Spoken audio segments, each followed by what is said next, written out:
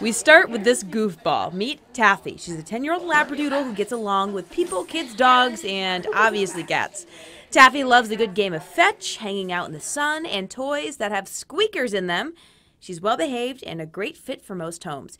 You can find this gem of a dog at Franklin County Animal Rescue. Next is Aki, a beautiful brown tiger cat with big, curious eyes.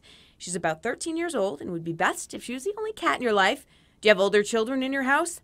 Perfect. Aki needs to be with kids old enough to respect her space so she can be the loving cat your home is missing. Visit her at the Humane Society of Chittenden County.